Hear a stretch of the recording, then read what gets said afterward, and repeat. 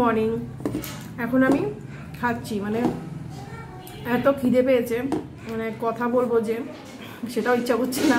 হচ্ছে আগে মানে তাড়াতাড়ি করে পুরোটা খাবারটা গিলে নিই। রুটি, আলু ভাজা আর চা।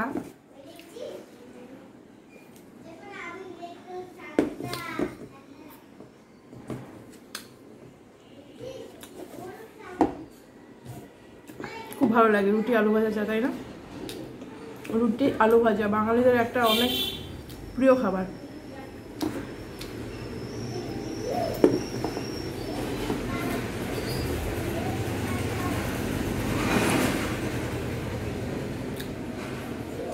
এখন বাজে সকাল এগারোটা। আর আজকে হচ্ছে মঙ্গলবার। তো ব্রেকফাস্ট করতে গিয়ে যদি এগারোটা বেজে যায়, তাহলে তো এরকমই খিদে পাবে, তাই না? আর এক ঘণ্টা বাদে লোকে ভাত খেয়ে নেয়, দুপুরে খাওয়া খেয়ে নেয়। হুম। ওটা নোংরা বাবা। পুরবারটা পুরবারটা না পুরবারটা সকালে খাওয়া খাচ্ছি এগারোটার সময়। ওর জন্য এত খিদে পেয়েছে মানে এতটা ব্যস্ততার মধ্যে ছিল সকালটা আজকে যে খাব যে সময়টা পাইনি। খাবার আমি করে ফেলেছিলাম একদম সকালেই। তো আমি খাচ্ছি এখন। তাহলে কেমন আছো তোমরা? আশা করি সবাই খুব ভালো আছো, সুস্থ আছো। আর এদিকে তো মিষ্টুর যে ব্যথা পেয়েছিল পড়ে গিয়ে বলেছিলাম এর আগে ব্লগে। তো সেই কারণে কি হয়েছে, ওই ব্যথাটার জন্য জ্বর এসেছে, জ্বরের থেকে একটা হালকা কাশি এসেছে। শরীর ঠিক নেই। এদিকে এখন আমি গোপালেরও দেখছি হালকা হালকা কাশি, হালকা গাটা গরম। বাচ্চা কাচ্চা শরীর ঠিক না থাকলে না কোনো কিছু করতে ইচ্ছা হয় না, মন ভালো থাকে না।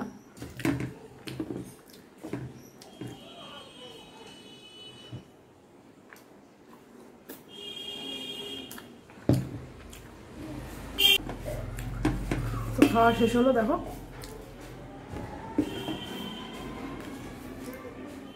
আর হাজব্যান্ডের আজকে যেহেতু মঙ্গলবার, ও পুজো দিয়ে এসেছে, ওকে আমি, ও যদি বেরোবে, ওকে আমি রুটি দিইনি। অন্য তুমি কটা ভাত খেয়ে নাও। তো ওকে কটা আলু ভাজা, ডাল, একটু ঘি দিয়ে ভাত দিলাম। অল্প করে বেশি খায় না সকালে। খেয়ে নিল। আর জন্য আজকে সকাল থেকে মানে রান্নাবান্না একটু ব্যস্ত ছিলাম। ডাল করেছি, আলু ভাজা করেছি, ভাত করে নিয়েছি, তারপর রুটিও করেছি। তো এই সেই কারণেই মানে রান্না বান্না তারপর নিজে স্নান টান করেছি। স্নান করে যেহেতু মঙ্গলবার আজকে, আমি আমার হাজব্যান্ড বজ্রঙ্গুলির ভক্ত ইভেন আমাদের বাড়ির সবাই মানে আমরা সবাই হচ্ছে বজ্রঙ্গুলির পরম ভক্ত। মানে এইটুকুনি গর্ব করে বলতে পারি। মানে প্রতিটা কাজে ওনার নাম নিয়ে আমরা করি।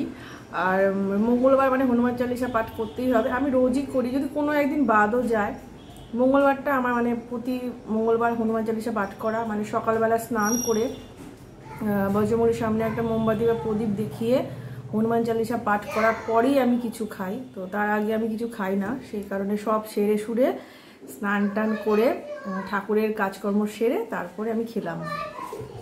আর মাকে আমি খেতে দিয়ে দিই, কারণ মা সকালে তো ঠাকুরের সকালে যে কাজটা থাকে, আমাদের ঠাকুর মন্দিরে যে ঠাকুরের তো সেবা সকালে একবার ভোগ দিতে হয়। সে ভোগটা দেওয়ার পরে এখন মাকে বলি, খেয়ে নিতে, তুমি খেয়ে নেবা। নাহলে এই খালি পেটে থাকার জন্য কি হচ্ছে, একটু সমস্যা দেখা দিয়েছে। ওই কারণে এখন মাকে আমি আগে খেতে দিই তাহলে চলো আজকে ব্লগটা বাংলায় করছি। তো চলে এসেছি রান্নাঘরে। পিছনে চলে আসলাম, দেখো ওই যে বাসনগুলো রয়েছে। ওই বাসনগুলো এখন মাজবো। অনেকক্ষণ দেরি হয়ে গেছে মানে এখন সাড়ে বারোটা বেজে গেছে। বাসনগুলো মেজে রেখে তরকারিটা রান্না করব। তাহলে চলো আগে বাসনগুলো আগে মেজে নিই। আর এটা অন্য গায়ে দিয়ে নিলাম। মানে নাইটি পরে ব্লগিং করছি, আমার নিজেরই ভালো লাগে না। তো কিছু আমার কুর্তি কেনার আছে, যেগুলো অর্ডিনারি মানে গরমে পরার জন্য। এখন যেগুলো আছে না, সেগুলো পরলে গরম লাগবে। তো কিছু কিনতে হবে অর্ডিনারি সবসময় ঘরে পড়ার জন্য ব্লগিং করতে গেলে এখন নাইটি পরে ব্লগ বানাতে একদম ভালো লাগে না। কিন্তু উপায় নেই, এত গরম লাগে না মানে অন্য কিছু পরা যায় না। তাহলে বাসনগুলো মেজে নিই হ্যাঁ? এইটা দেখতে পাচ্ছ, দাগটা। এটা হচ্ছে আমি ভাত বসিয়ে গেছিলাম মানে রাত্রেবেলায় ভাত বসিয়ে মিষ্টুকে পড়াচ্ছিলাম, তো এতটাই পড়ানোয় ব্যস্ত হয়ে গেছিলাম, ভাত, ভাতটা তলায় লেগে লেগে গেছিল। মানে পুরো ভাতটায় মানে পোড়া গন্ধটা হয়নি, উপর দিয়ে ভাতটা তুলে নিয়েছিলাম পোড়া গন্ধটা অতটা হয়নি। নিচের ভাতগুলো মানে এতটা মতো মোটা ভাত সব ফেলে দিয়েছি। ঢেলে দেবো ভাত, ওর জন্য একটু হালকা পোড়া পোড়া গন্ধ ছিল, ওই ভাতই আমি আর মা খেয়েছি আর কি, পুরো ভাতটা ফেলিনি। মানে প্রায় দুজনের মতো ভাত রান্না করছিলাম। ওই হাফ কোটো চাল মতো রান্না করেছিলাম। তখন আমার পোড়া লেগে গেছিল। এরকম।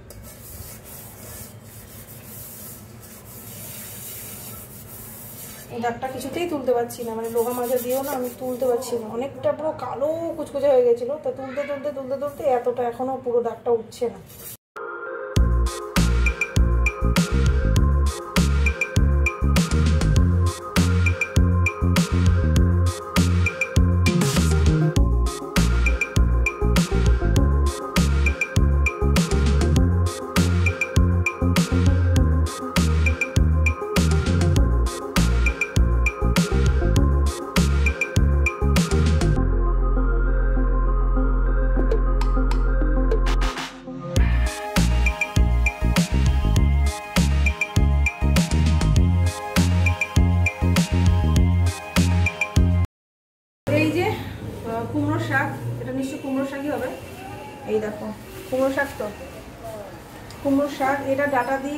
কুমড়ো দিয়ে রসা মানে তরকারি করব, ডাটা কুমড়ো, আলু তরকারি মানে আমরা রসা বলি, ঠিক আছে? ঝোল বলি না, কারণ আমাদের বাড়িতে ঠাকুরের ভোগ হয় তো, সেই জন্য আমরা ঝোল কথাটা বলি না, রসা বলি, তো যাই হোক, তরকারি করব। আর শাকটা রেখে দেবো, যেহেতু আজকে একাদশী, মা তো শাক খাবে না, শাক ভালোবাসে, তার জন্য শাকটা কালকে করব, ডাটা কুমড়ো, আলু তরকারি করব। এটা গেল, আর কি এনেছে দেখাচ্ছি। তো পুজো দিয়ে আসার সময় করে নিয়ে এসেছে আর কি। আর এই দেখো পটল পটলটা ধুয়ে নিতে হবে। পটল আজকে বানাচ্ছি না। আর এখানে রয়েছে, দেখো এই বিস্কুটগুলো। দেখতে পাচ্ছি, এটা হচ্ছে একটা কাজু বিস্কিট। কাজু বিস্কুট, দেখো বণিক কাজু বিস্কুট। এটা খুব ভালো। আমি একটা এনেছিল, আমার খেতে এত ভালো লেগেছে। বলেছি, তাই আবার দুটো নিয়ে এসেছে। দুটো দুটো আলাদা শেপ একটা এরকম কাজু শেপ আর একটা দেখো, এটা গোল গোল। তো দুটোই খুব ভালো। এটা খাইনি কোনোদিনও। কাজুটা খেয়েছি। কাজুটা খুবই টেস্টি গেল। আর এখানে রয়েছে কি দেখাচ্ছি? এখানে রয়েছে পাঁচটা তেল, ঠিক আছে? পাঁচটা তেল। এটা হচ্ছে Emami healthy tasty rice bran oil যেটা, রান্নার তেল। তো এটার সাথে মনে হচ্ছে এটা ফ্রি এই যে এটা এরা যেহেতু পাঁচটা রয়েছে মানে পাঁচটা তেল আর সাথে এই পাঁচটা এই পাউডার এটা হচ্ছে সর্ষে পোস্ত। ওকে সর্ষে পোস্ত মানে সর্ষে বাটা, পোস্ত বাটা দিয়ে যে আমরা তরকারি করি, সেটারই পাউডার আর কি। Hundred percent homemade taste no added colour and preservative দেখো সর্ষে পোস্ত, দেখতে পাচ্ছ? ফ্রন্ট ক্যামেরা দিয়ে তার জন্য জানি না কতটা বুঝতে পারছ, আশা করি তোমরা বুঝতে পারছ সর্ষে পোস্ত। ঠিক আছে? এটা পাঁচটা মানে এই তেলটার সাথে ফ্রি আছে। পাঁচটা তেলের সাথে নিশ্চয় পাঁচটা যেহেতু, তাই ফ্রি আছে বোঝা যাচ্ছে। মানে এর আগে কোনোদিন আনেনি ফ্রি বলেই এনেছে। তো দেখতে হবে, যখন প্রথম বানাবো, তোমাদের সাথে শেয়ার করব রেসিপি যেটাই বানাই না কেন। এই রান্নার তেল পাঁচ লিটার পাঁচটা তেল। রান্নার তেল একদম বাড়ন তো মানে একদম শেষ হয়ে গেছিল। মানে একটা লাস্টের তেলটা যখন কাটি মানে আমরা ভুলেই গেছি তেলের কথা বলতে। বকাবকি করছিল, পুরো শেষ হয়ে যাওয়ার পর কেন বলছো আগে কেন বলো না? তো এরকম হয়ে যায় মাঝে মাঝে। তাহলে রান্নাটা করে ফেলি, বেশি বক বক বক বক করে যাচ্ছি আর প্রচণ্ড ঘামছি, দেখো। এই গরমকালে রান্নাঘরে আসা মানে ঘেমে ঘেমে শেষ। ঘেমে ঘেমে শেষ। তো দেখো, আমি সবজি বানাতে বসে গেছি। এখানে মানে কুমড়ো শাকটার ডাটাগুলো শুধু নেব আর শাকগুলো ছাড়িয়ে আর কি আলাদা করে রেখে দেবো। ডাটাগুলো নিয়ে আর শাকগুলো ফ্রিজে রেখে দেবো, পাতাগুলো আর কি। তো সেটা কালকে শাক রান্না করব। আর সাথে তো দিচ্ছি আলু আর কুমড়ো। কুমড়োটা পুরোটা দেবো না, কুমড়োটা আমি অর্ধেকটা দেবো, বাদ বাকিটা রেখে দেবো। কারণ এই তরকারিটা গরম গরমই ভালো লাগে। মানে ঠান্ডা হয়ে গেলে না আর ভালো লাগবে না। তো ভালো লাগবে না, সেটা বলা ভুল। মানে খুব একটা অত টেস্টি লাগে না। গরম গরম যতটা টেস্টি লাগে, ঠান্ডা হয়ে গেলে টেস্টটা একটু কমে যায়।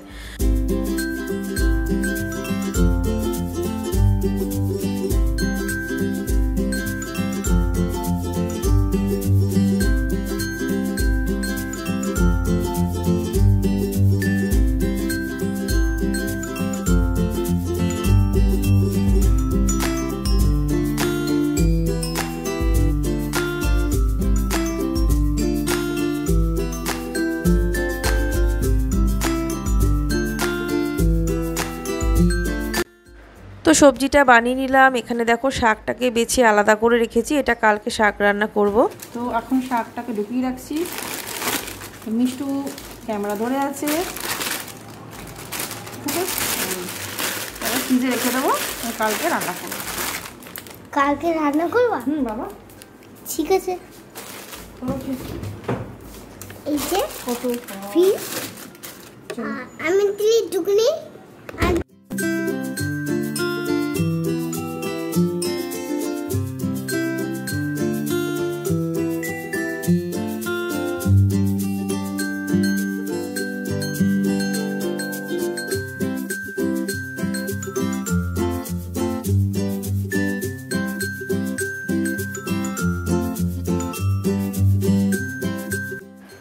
সবজিগুলো সব ভালো করে ধুয়ে রেডি করে নিলাম। কুমড়ো, আলু, এখানে শাকটাকে জলে ঝুপ, চুবিয়ে রেখেছি আর কি। মানে জল থেকে ছেঁকে তুলে দেবো। আর কড়াই চাপিয়ে দিয়েছি। দেখো এবারে তেলটা ঢালছি। মানে তেলটা আগে থেকে ঢালা নেই, কারণ বললাম না তেলের প্যাকেট একদম বাড়ন্ত হয়ে গেছিল। তো সেটাই মানে না হলে আমি তেল আগে থেকে ঢেলে রেডি করে নিতাম। তো সে যাই হোক, করব তো শুধু একটা তরকারি, অত চাপ নেই। তো দেখো, কড়াইতে তেল দিয়েছি, তেল গরম হয়ে গেছে, এবার দিয়ে দিয়েছি কালো জিরে আর একটা শুকনো লঙ্কা। তোমরা এখানে কালো জিরের পরিবর্তে আর কি পাঁচ ফোড়ন ইউজ করতে পারো, তাতে খুব ভালো হবে তরকারিটা। আর এখানে কিন্তু তেলটা একটু বেশি পড়ে গেছে মানে তেলটা এখানে আরও একটু কম দিতে হবে। মানে এই তরকারিটার জন্য কিন্তু একদম বেশি তেল লাগে না, খুবই অল্প তেলে হয়ে যায়। আর অল্প তেলেই করলে বেশি টেস্টি হয়। তো এখানে আলুটাকে অ্যাড করে দিলাম, কালো জিরে আর শুকনো লঙ্কা দিয়ে। তো আলুটাকে এবারে নুন আর হলুদ দিয়ে একটু ভেজে নেব। তো অলরেডি আমি নুন আর হলুদ দিয়ে দিয়েছি আলুর মধ্যে। তো এবারে একটু ভাজা ভাজা হয়ে এসেছে, তারপরে কুমড়োটা অ্যাড করে দিলাম। তো কুমড়ো, আলু একসাথে দিয়ে তো অনেক সময় এরকম হয়, কুমড়োটা হয়তো গলে গেল, আলুটা নরম হলো না। তো সেই জন্য আমি আলুটাকে একটু ভেজে নেওয়ার পরেই কুমড়োটা দিলাম। তারপরে দিয়ে দিলাম কাঁচা লঙ্কা, এখানে চার পাঁচটা কাঁচা লঙ্কা মাঝখান থেকে চিড়ে নিয়ে দিয়ে দিয়েছি। তো তোমরা চাইলে কাঁচা লঙ্কা, আদার পেস্ট দিতে পারো। তো এখানে আমি আদাটা আজকে আর ইউজ করলাম না। তোমরা চাইলে দিতে পারো একটু আদা, কাঁচা লঙ্কা পেস্ট বানিয়ে। তো এবারে আমি লাস্টে ডাটাগুলোও অ্যাড করে দিলাম। তো এবারে মশলাটা রেডি করছি। অল্প একটু জল নিয়েছি, তার মধ্যে নিয়েছি এক চামচ মতো হলুদ গুঁড়ো, ছোটো চামচে দেখতেই পাচ্ছ। আর এই ছোটো চামচে দু চামচ মতো জিরে গুঁড়ো, তো একসাথে মিলিয়ে নিলাম। জলের মধ্যে নিয়ে তারপরে দিয়ে দিলাম। এটা একটু কষিয়ে নেব। বলতে পারো, এটা খুবই শর্টকাট বা ফাঁকিবাজি রান্না, সেটাও বলতে পারো।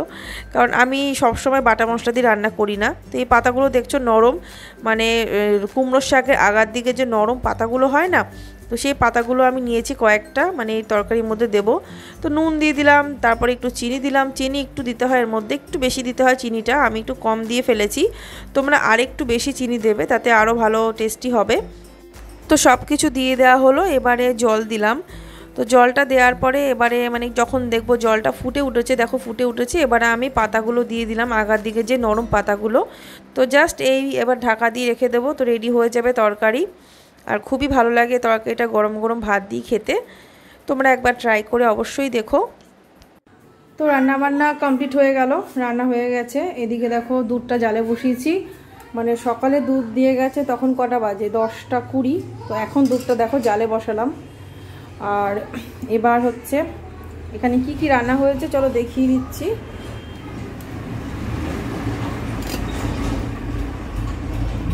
তো এই দেখো ডাটা দিয়ে, কুমড়ো দিয়ে, আলু দিয়ে তরকারি। কি আওয়াজ। তো ডাটা, কুমড়ো, আলু, তরকারি দেখো, এটা বানালাম এইভাবে। খুব কম মশলার সাথে। আর এখানে হচ্ছে আলু ভাজা। যে সকালে আলু ভাজা করেছিলাম, সেখান থেকে অর্ধেকটা রয়েছে এখনও। এই যে আলু ভাজা। আর এখানে রয়েছে মুগ ডাল। সকালে করেছি মুগ ডাল। আর এখানে তো ভাত আছে, এই যে। শুধু অল্প কটা হাজবেন্ডকে দিয়েছি, আর মিষ্টুকে আর গোপালকে খাওয়ানো হয়ে গেছে। পরিষ্কার, এদিকটা পুরো পরিষ্কার করে নিলাম। তো সব পরিষ্কার, এদিকে গ্যাস স্টোভ ট্যাস স্টোভ সব ক্লিন করে নিয়েছি। এবার এই বাসনগুলো শুধু মাজবো। ব্যাস, তাহলে আমার রান্নাঘরের কাজটা কমপ্লিট হয়ে যাবে পুরো। চলে আসলাম বেডরুমে দেখতে পাচ্ছি অন্ধকার। আমি এখন ফোনটা চার্জে বসাবো, কারণ ফোনে একদম চার্জটা লো রয়েছে মানে থার্টি পার্সেন্টেরও নিচে মানে আমার অসুবিধা হয়ে যাবে। এখন যদি আমি আরও শ্যুট করি, তাহলে ভিডিওটা পাবলিশ করব একটু পরে। একটা ভিডিও আপলোডে দিয়েছি। তো নাহলে অসুবিধা হয়ে যাবে, তাহলে আবার লেট হয়ে যাবে, তো সেই জন্য একেবারে খাওয়া দাওয়ার সময় দেখা করছি, না হলে খাওয়া দাওয়ার পরে দেখা করছি। তো দেখো অন্ধকার, দেখতে পাচ্ছি এবার? তোমার ফোনটা চার্জে বসিয়ে দিই, পরে একেবারে দেখা করব তোমাদের সাথে। সো ফ্রেন্ডস জাস্ট এইমাত্র একটু ঘুম থেকে উঠলাম, ঘুম আর বলা যায় না, পুরো ঘুমোতে পারিনি আমি। মানে একটা ভিডিও এডিটের কিছুটা কাজ করছিলাম। মানে যে ভিডিওটা এখন দেখছ তোমরা, এই ভিডিওটা আমি কিছুটা এডিট করতে শুরু করলাম। তারপরে ঘুম এসে গেল। এখন তো সন্ধে হয়ে গেছে মানে সন্ধে প্রায় ছটা বাজে, দেখো। দেখিয়ে দিচ্ছি, ঘড়িটা দেখতে পেয়েছ? তো প্রায় ছটা বাজে, ছটা বাজতে মানে পাঁচ মিনিট বাকি। তো এখন যাব, সন্ধ্যাবাতি দিতে হবে। তারপরে আবার দেখি সন্ধ্যাবেলায় কিছু খাবার করতে হবে। তো আর এই ব্লগটা বেশি বড় করছি না। এই ব্লগটা এখানেই এন্ড করলাম। আর এরপরে যে ভিডিওটা আসবে একটু অন্যরকম, এটা এরপরে ভিডিওটা অবশ্যই তোমরা দেখো। আর আমার চ্যানেলটাকে যারা নতুন আছো, নতুন বন্ধুরা প্লিজ সাবস্ক্রাইব করে নিও। সাথে বেল আইকনটা অবশ্যই ক্লিক করো। ফ্যানটা চলছে তো, একটু ফ্যানের আওয়াজ আসতে পারে। আর আমার স্কিনে একটু প্রবলেম দেখা দিয়েছে, ওদিকে তাকিও না, এই দু সাইডে তো জানি না, দেখতে হবে কি হয়েছে। তো, মাঝে মাঝে এরকম হয় আর কি। তো যাই হোক ফ্রেন্ডস আজকে ব্লগটা এখানেই এড করছি। যদি ভালো লেগে থাকে ব্লগটা একটু যদি ভালো লাগে, অবশ্যই করে একটা লাইক করবে। আর যদি তোমরা আমার চ্যানেলে নতুন থাকো, যারা নতুন বন্ধুরা আছে অবশ্য করি আমার চ্যানেলটাকে সাবস্ক্রাইব করে নাও। সাথে বেলাইকানটা অবশ্য করে ক্লিক করবে। ঠিক আছে? তাহলে দেখা হচ্ছে পরের ব্লগে ততক্ষণের জন্য, টাটা বাই বাই